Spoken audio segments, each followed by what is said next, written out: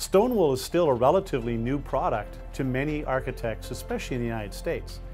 However, when architects look for innovative solutions to their building design problems, sometimes they have to look outside of their normal comfort box and find different products. One classic example that we've come across several times as consultants has been open jointed cladding systems. There's many advantages to using a cladding with open joints, both aesthetically and from a durability and maintenance point of view.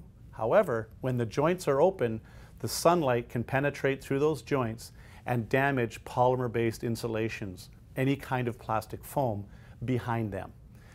One of the obvious answers to an architect designing an open jointed system would be to use a stone wool insulation system because the stones are highly ultraviolet radiation resistant.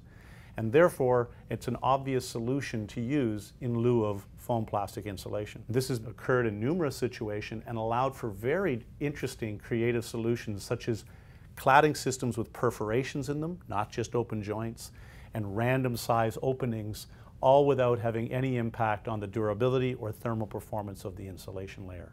The new way of building walls, which has long been the best way of building walls, is to use a continuous layer of thermal insulation to the exterior of the structure, the air, and the water control layers.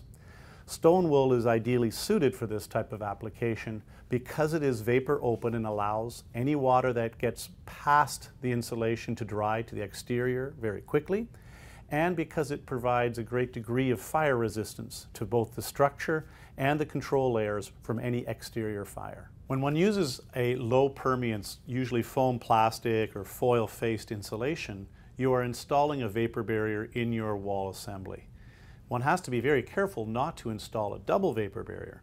And so if the insulation layer is a vapor barrier, you can't put another vapor barrier on the inside or you risk trapping moisture within that wall. A solution to this problem could be to actually provide either enough insulation on the outside or to use a vapor open insulation like stone wool.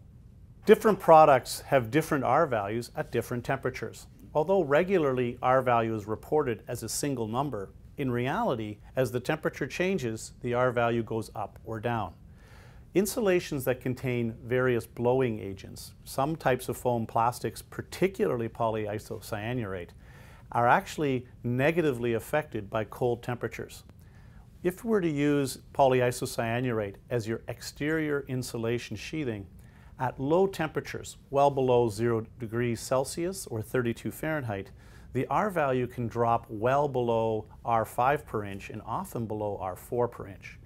In these situations, the thermal performance of that polyisocyanurate insulation will be no better than if one were to use stone wool insulation. This brings up a bunch of actual practical technical details that we need to deal with when specifying insulation. One of the concerns about insulation on the exterior has long been expansion and contraction causing cracks and openings between joints and boards. Stone wool has a very low expansion and contraction coefficient. So as the temperature goes from well below freezing to a blistering hot day, the, the movement of the board is highly constrained. Spray foam insulations, they can work well, but they have a less control of the thickness of their insulation. And so one has to worry about larger air spaces to accommodate the dimensional variation of a spray foam product versus a factory built board product. Rain screen or drained and ventilated wall systems always allow some water to penetrate the cladding and come in contact with the insulation. Whether the insulation is made of foam plastic or water repellent stone wool, neither one will be affected by that water. Continuous insulation is of course the way of the future and the way that codes are mandating we install insulation in many commercial and residential applications.